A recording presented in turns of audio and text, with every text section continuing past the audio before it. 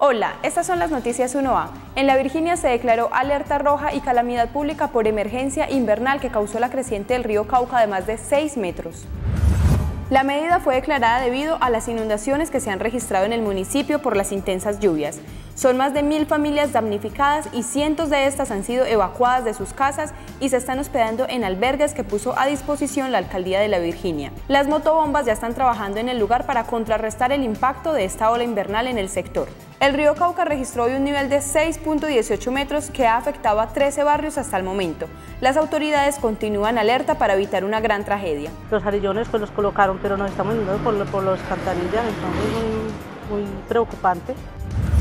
Las lluvias tienen en serios apuros a usuarios de las vías rurales de Risaralda. Ya fue restablecido el paso en la vía Pereira-Alcalá a la altura de Morelia. La comunidad del sector apoyó las labores de remoción de tierra y vegetación que impedían el paso vehicular. Por deslizamiento de tierra y rocas, en el municipio de Belén, dos vías registran cierre total. Taparcar la isla, sector La Balastrera, y la misma condición se afronta en Remolinos Belén, sector La Frijolera. La Virginia Pía, en el sector Monte Oscuro, presenta paso restringido a un carril. La presidenta del barrio Alfonso López de Pereira reclama atención por parte de las autoridades. Teme que el río Tun arrase con su vivienda.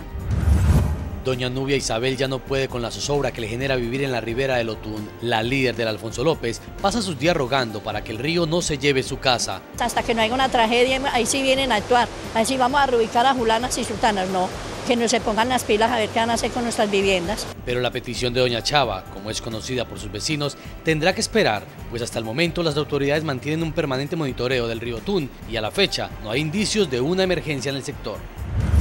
La Universidad Cooperativa inició en Pereira un ciclo de capacitaciones entre docentes y estudiantes que busca generar conversaciones de alto impacto internacional.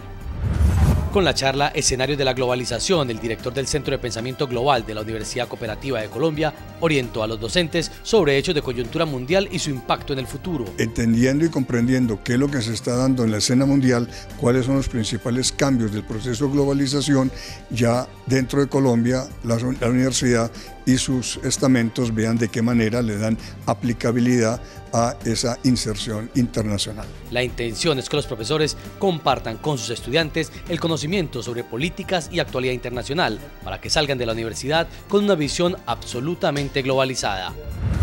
Manchester United y Ajax clasificaron a la final de la Europa League. El Ajax perdió tres goles por uno frente al Dolber, pero el marcador global quedó 5 a 4 a favor del conjunto holandés.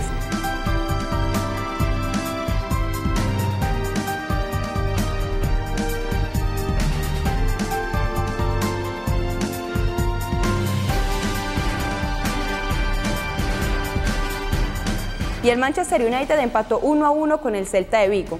Al Celta solo le faltó un gol para remontar el marcador global que finalizó 2 por 1 a favor del club inglés. La final será el 24 de mayo en Suecia.